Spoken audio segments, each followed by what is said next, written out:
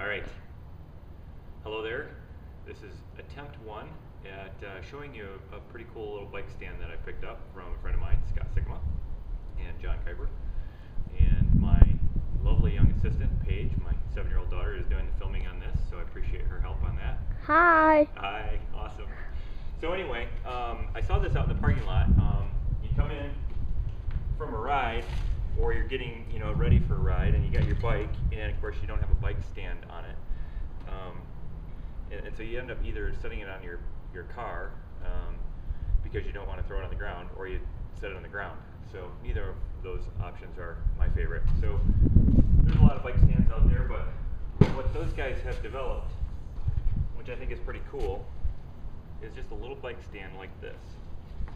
And so what you do, take it out your pedal like so,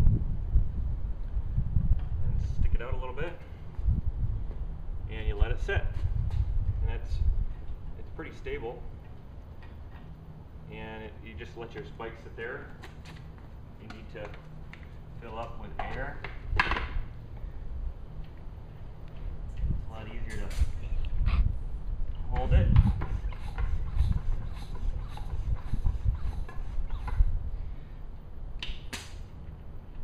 You don't have to about like jockeying the bike around with your legs and hanging onto it while you're putting air into it.